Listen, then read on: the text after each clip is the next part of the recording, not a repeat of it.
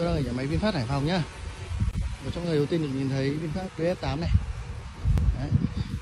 Quá đẹp luôn. Xe lại còn màu đỏ. Thiết kế thì đây là xe điện Nên nó quá êm nó Chả có cảm giác gì đang nổ máy cả Nhưng thực ra đang nổ máy đấy, đấy. Tôi sẽ thử ờ, đi một vòng cho các bạn xem. Ừ. Đó là rằng Đúc phay nhưng mà nó sẽ hơi khác so với xe xăng một tí còn đầu xe thì vẫn là thiết kế sức chờ của VinFast thôi. Hai đường viền đi vào trong mà có chữ V này. Phần đèn pha nó sẽ giống như con VF 34 một chút. Nó có đèn led ở trên rồi hai cái đèn pha ở dưới chia khoang này. Đấy, mắt lên thử trong nhá. Đấy. vô lăng thể thao màn hình lớn này. Chuyển số công nút bấm này.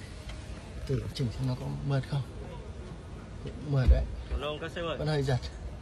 Khách sắp đến rồi. tí nữa thì chúng ta sẽ tìm hiểu thêm nhé mình sẽ thử